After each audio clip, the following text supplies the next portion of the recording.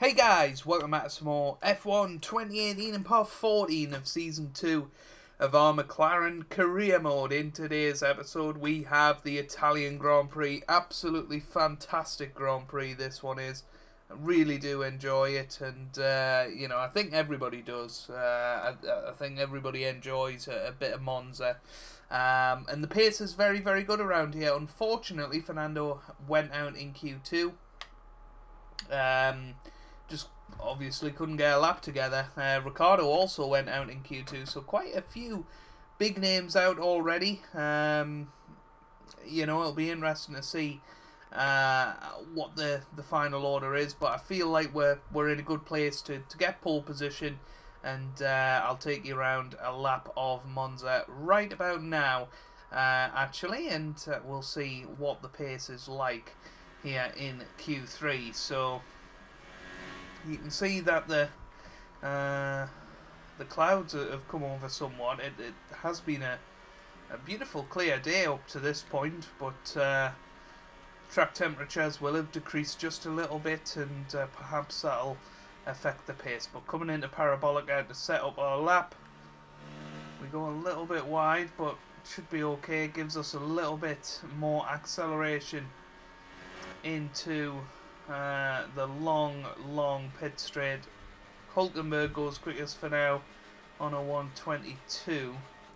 Uh, we were doing 121s in Q1 and Q2, so that's not going to be anywhere near good enough from Hulkenberg uh, for the moment. But a good start to the lap. Vettel goes quickest with a 121.8. Hamilton was quickest in Q2 with a 121.1. We come through this first sector and uh, we're quite a way off.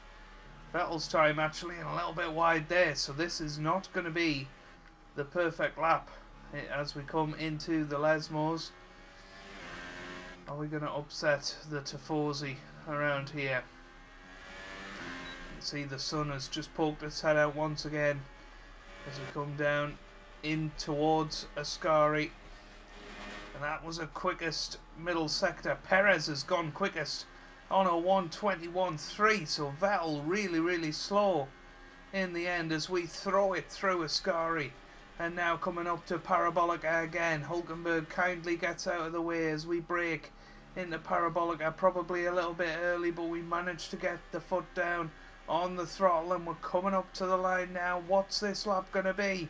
It's a 120.9 we dip into the 1 minute 20s what a brilliant lap that is and that is pole for the moment. Hamilton has only gone third, so Perez currently the man who is shocking everybody up in second place. And remember, the Force Indias were really, really quick uh, around Belgium as well, and, and had a really good result last time out. So these tracks are brilliant for the Force Indias. Um, but we'll come around, drive, uh, drive into the pits now, and we'll come out for a second run later in the session. Well, have a look at this. Perez is in second. Ocon is in fourth. Absolutely unbelievable from the, the Force India boys. Uh, we're going to bolt on a new set of tyres. I think uh, we're going to start seeing people uh, very, very soon. Uh, go out and set their final lap. But we're going to go out now. We're going to try and improve on that time. It's going to be tough, but uh, you can see the Force India's going out there. They're only four tenths off us. You feel like people like Hamilton have got a lot more to show as well. As, and Vettel, you know, he, he only did a 121.8. Um, so maybe Ferrari's straight line speed is, is not quite there. But we've got two minutes to go here. We'll get round and we'll take you on another lap of this wonderful Monza circuit.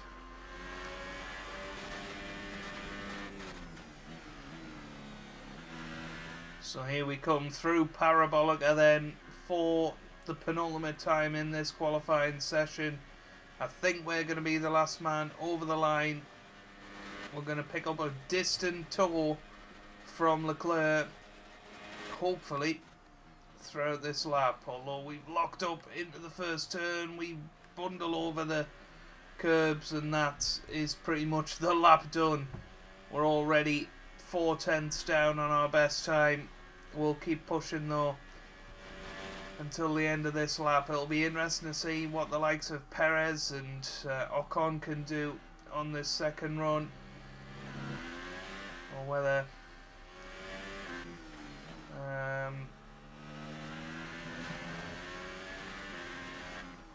it's just going to be the status quo. I mean, we've put in an absolutely god awful lap here. This is not what we wanted at all. It'll be interesting to see if anybody else can improve because the sun has come out, so track temperatures will be rising. As we threw it through Ascari once again, but just not. We don't have the pace. Hamilton goes quickest with a 120.9, only a couple of hundredths of a second quicker. The Doves fell goes quickest to 120.7. We're going to drop down the order here. Perez goes fourth. What about Leclerc? Where's he going to go? I'm not sure. Nice job. But uh, we finished third in the end. That's, I don't know. I guess a disappointment considering uh, how bad our last lap was. Vettel, Hamilton, and the captain. It's time to leave for now, but we'll be back tomorrow when the Grand Prix itself gets underway. But look at that, Sebastian Vettel on pole, last gasp from him, and Hamilton only three hundredths of a second ahead of us as well. We're going to start third. I think that's a, a, decent starting position for us. And Perez in fourth once again. Force India looking the business at these type of circuits. Ocon in sixth there. Bottas only fifth. He'll be disappointed with that. Raikkonen only seventh as well. Verstappen eighth. Hulkenberg in ninth and Leclerc in tenth. But only seven tenths uh, separating the top nine there. That is something to be celebrated. And, uh, well, I think everybody was giving each other a tow we just messed up our last lap and, and that's the end of it really. There's not much more we can do about it, but hopefully we can get the victory in race day.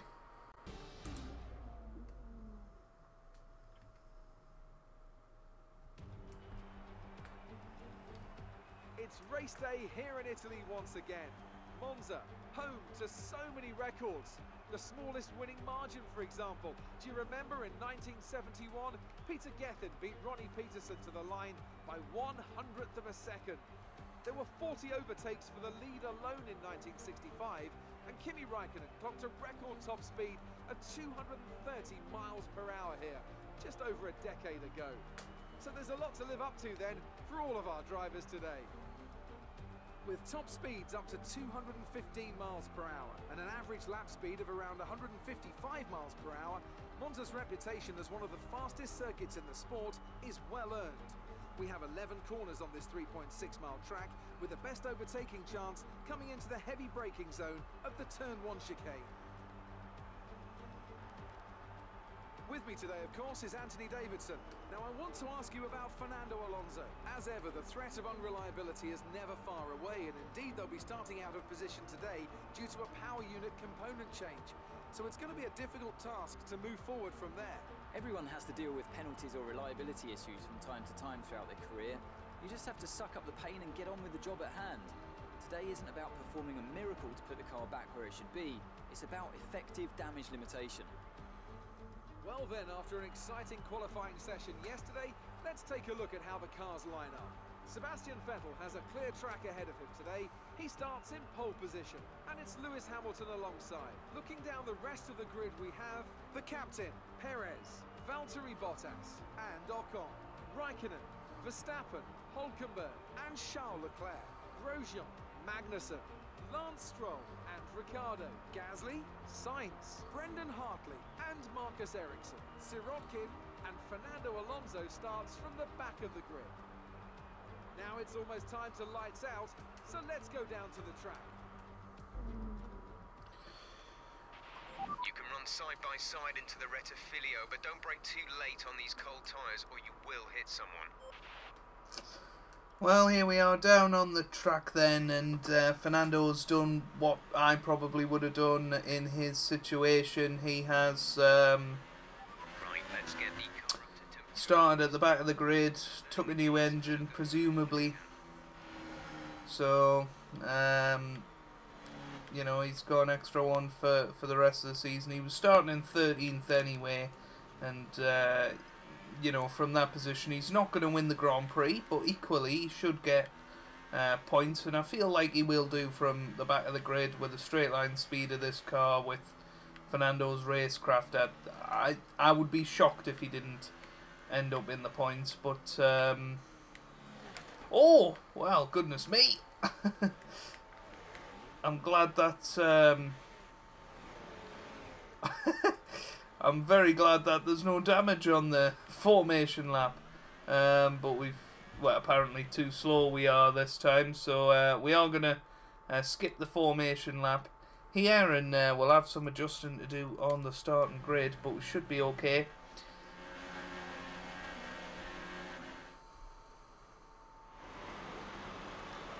So here we go. Ready for the lights. Lights out, away we go. Goodness me, that was quick release of the lights and we're caught out a little bit as Perez goes up our inside and we are absolutely swamped once again here at the start. Oh my goodness me, we T-bone uh, Perez into the first corner. There's yellow flags as well. Not entirely sure what that was all about, whether it was just for us, but we're back up into fourth position because we were very aggressive, to say the least, on that first corner. Amazingly, though, we didn't get any damage, but Hamilton and Vettel going side by side like they did in the real life race. But remember, Vettel was tipped to the back of the field when Hamilton went on to win this race in real life in 2018, and Hamilton has took the lead, it looks like, but Vettel is still on his inside as they go towards Ascari. And he's going to have a look down the inside now. Vettel and Hamilton side by side. Hamilton goes wide. Perez is here as well. We're right behind Perez. Vettel has got himself into the lead. Ocon up to fifth as well. This is absolutely amazing at the start of this Italian Grand Prix. But Vettel leads the way. Hamilton is in second. Perez is in third. We're in fourth currently. Just uh, waiting for our chance. We're going to move the energy deployment down a little bit because we were derating. But it's Linus Stern here. Uh, at the start of this Grand Prix, we're having a little look at Perez there. It was more just because we had too much speed going into the turn that we had a little look. But again, no damage, so a little bit lucky there, to say the least. But Vettel leading the way. Hamilton in second, Perez in third, and the front two are pulling away just a little bit from us at the moment. But uh, we're managing to just about keep it on the track, and with Ocon and Raikkonen fighting uh, down below, and we've broke their slipstream, you feel like this is going to be the top four come the end of the race. The question is, can we catch up to the front two?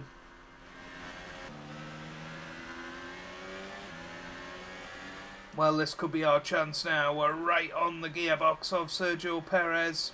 And here we go. We're going to have a look. And I think we're fine. That's a good overtake.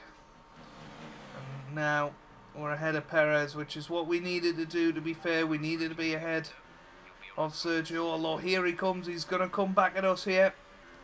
If we're not careful. And look at this, side by side now. He's obviously got his energy deployment up. And we're just going to let him have it for now. I tried a little undercut on him there, but just didn't have the momentum to come through. But uh, this is all costing us valuable time on the two leaders. And it's frustrating because we do have the pace, but here comes DRS time. Going to use this opportunity to close in. Oh, he's derating just a little bit, so we're going to just be careful. But here we are now with a chance. We've got the overtake button on. And we go to the inside. We're going to have a look into Parabolica now. Down the inside and we're through. So back up into third position we go. Think he's going to have DRS, so he's probably going to come from a long way back as Hamilton takes the lead of the Grand Prix. Hamilton is in the lead now. As Perez closes in on us, we need to make sure we nail these couple of corners. Get good acceleration out of that first chicane, but Perez is right on our gearbox. He's having a look at us. We're going to hold the inside line this time Gap to the car in as we come into the end of the first sector and Perez is behind. There's a bit of a corner cut, admittedly, there. I felt it was either that or we spin, so I'm fine with that. We got our warning. We'll only get one more of those before we get a penalty, but that is terrible and Perez flies through. Goodness me, this. Well, look at this. We go down the inside of Perez. I don't know what he was doing there. But whatever he was doing, he'll be disappointed. And here he comes. Once again, we've got the DRS open. This is just a ding-dong battle with Perez. He's got incredible straight line speed. And look at the front two. They're side by side. Hamilton and Vettel. Imagine if this happened in real life. Side by side, multiple laps. It would be absolutely amazing to see. Now then, can we make this corner this time? Yes, we can. Hamilton back into the lead of the Grand Prix. Apparently, although according to our timing screens up, up in the top left, he is behind Vettel at the moment. Perez is keeping us under pressure though. My goodness. He's got his DRS wide open. He's going to be having a look into Ascari here. Perez goes past us once again. But we have a look down the inside. And what a move we've pulled off there through Ascari.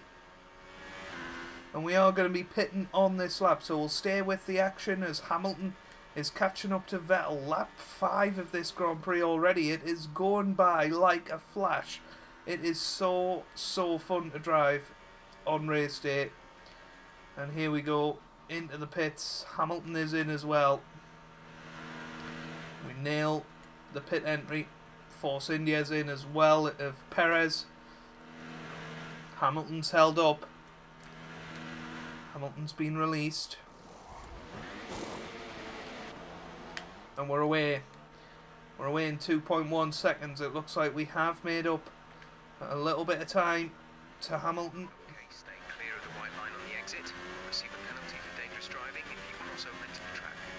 And most importantly, we're out ahead of Sergio Perez as we lock up into the first turn. Cold tyres, of course. And now we've got to use this advantage that we've got from the pit stop. We are ahead of Perez. We're, we've broke the slipstream and DRS uh, gap, which is is all good. And that hopefully means that he won't be bothering us for the rest of this race.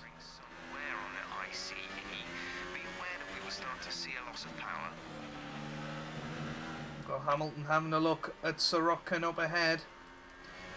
And goes wildly to the outside. Sirotkin still there though. Well, Sirotkin was a bit dangerous there. We nearly went straight into the back of him. He's obviously just struggling a little bit. Deployment node before you hit your deployment limit. So now. Fernando Alonso into the pits. We got better acceleration than Hamilton here. Is Hartley going to go into the pits? He does. He peels off as we're now overtaking Hamilton. It should be easy enough with the DRS open. And as you can see, it was. Goodness me, did we need to pull the power down there? And Hamilton's going to have a go at us into turn four. Verstappen has just completed a pass for the lead. Surely Verstappen isn't going to win this Grand Prix. Surely not. Pretty sure he's starting on the soft tyres, so maybe he hasn't pitted yet. That would make sense. But uh, Vettel did make a lot of time in the pit stop. He went for the overcut, of course. Uh, on myself and Lewis. And he's the one currently leading the way. But maybe that's what's got Verstappen into the lead. He was uh, out there much longer than the rest of us. Maybe he is going to win this Grand Prix, but we're going to try our best to catch up to Vettel here. And make a pass for what I think would be the provisional lead of the Grand Prix, but we will see. No, Verstappen is in, so Vettel takes the lead once again of this Italian Grand Prix. We're in second. Lewis Hamilton is currently in third, 1.3 seconds behind ourselves. So let's see what we can do in these last four or five laps.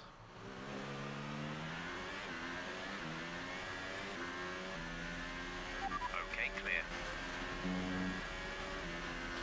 Oh my goodness, Hamilton is out of the race. I think he's slowing right down. Hamilton is out.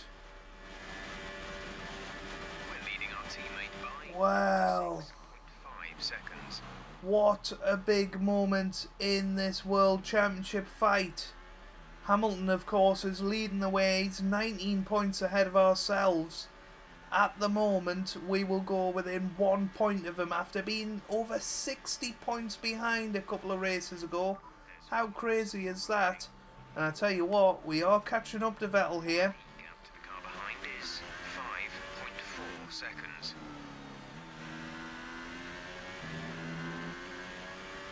Well, you join me as we come through Parabolica for the penultimate time. We're going on to the final lap of this Grand Prix. We're 1.1 seconds of Sebastian Vettel. We have whittled down this gap over the last few laps. We have been absolutely mighty. In the second and third sector, we struggle out of that first chicane, but we're okay now. And you can see we're getting an ever so slightly distant tow here. We're just able to brake much later than Vettel.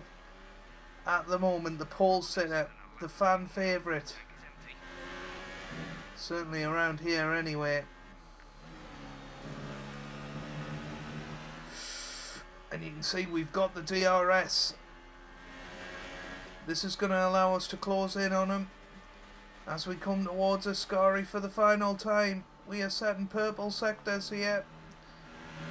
And look at this. We are right behind Vettel now. We've got overtake mode on. This is going to be so close. We have a look. And we're going to go for it down the inside of Parabolica. Oh, we go a little bit wide, but managed to keep two of the tyres on. But here comes Vettel. Vettel having a look now. Vettel wins. Oh, that was close. That was close. what a Grand Prix. That was to take the win for Ferrari today. Goodness me, how did Vettel beat us on the line there? He must have. He, well, he did just take a better, um, Probably the key today.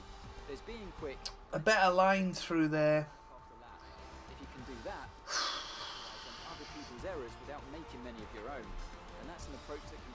Long way up the field. So here they come now, out onto the podium. Wherever you go, anywhere in the world, the prancing horse flags are dominant in the grandstands, and they're out in force again today. It's Ferrari on the top step once more. There you have it. What an important seven points that could be. Certainly for us, it's the difference now of being one point behind in the championship and leading it by six. But I'm sure there'll be plenty more opportunities as the season goes on. But what a crazy Grand Prix that it's to was. see this result affects the Drivers' Championship. It wasn't the best weekend for our championship leader, and their advantage at the top has been reduced. Now then, Anthony Davidson, who was your driver of the day? I'll probably go for Pierre Gasly. The team did a good job with the strategy to put him in amongst the pack, but it's the driver's job to capitalise on those opportunities, and he did so with a lot of skill. And here's how things are shaping up in the Constructors' Championship. We saw a dip in form from the championship leaders today. Their lead has taken a significant blow. It was also a strong Grand Prix from Haas F1 this weekend. Fantastic work from the American team to move themselves further up the table. Well, what a weekend that has been. Please join us next time for another thrilling instalment of this Formula One season. Well, what an amazing Grand Prix. We lose out by 0.033 seconds. We set the fastest lap of the race at the end there as well. That is just absolutely crazy. We went a little bit wide out of par Parabolica and Vettel just used the slipstream, the extra momentum that he carried through Parabolica and, and beat us to the line and that is crazy. Perez finishes a wonderful third for Force India. Bottas fourth, Raikkonen fifth, uh, Bottas, uh, Ocon sixth, Verstappen in seventh, Gasly, Grosjean and Leclerc round out the top 10. Fernando only finishes 17th. He couldn't make his way through the field the way that we thought he might be able to. But look at the championship. Four points separate the top four as we go into the final stretch of the season. I mean, Ricciardo, Alonso, and Raikkonen, you'd have to say are probably out of the championship at this point, but a couple of wins for any of them, and it gets them right back into it. Um, you know, Hamilton has been incredibly unlucky over the last few Grand Prix. We are 51 points behind Mercedes in the Constructors, but that is where we're going to leave it for this episode. If you have enjoyed that, and if you haven't, I don't know what you would enjoy, but uh, that was absolutely fantastic. And uh, yeah, leave a like down below, uh, subscribe to the channel for regular F1 content, and I hope you guys are having a wonderful day. Thanks for watching, and goodbye.